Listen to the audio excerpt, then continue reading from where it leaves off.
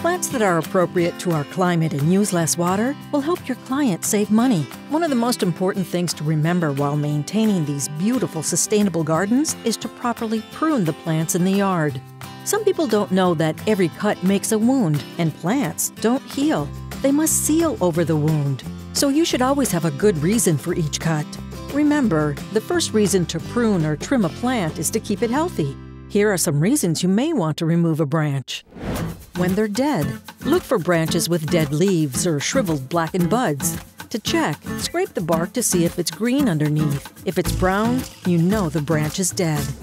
When there is disease, look for sunken areas that are oozing or discolored along branches or trunks. If they are, prune the diseased branch back to at least 6 inches below the diseased area into healthy wood if possible. When there is damage, if there are broken branches, make a clean cut to a bud on a young stem, to another branch, or remove the branch entirely.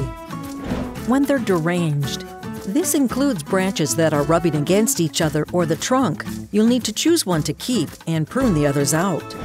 Don't forget, never leave a stub. When this happens, the plants sprout weak branches called water sprouts, creating crowded branches, unhealthy plants, and more work for you. Here are some tips to avoid this. Remove whole branches all the way back to the bulge at the base of the branch. This prevents water sprouts and enables the plant to seal over the wound. If you must shorten a branch, prune it back to another branch that is at least one third the thickness of the part being removed. On young one year old branches, you can shorten them by cutting them to an outward facing bud or back to another branch.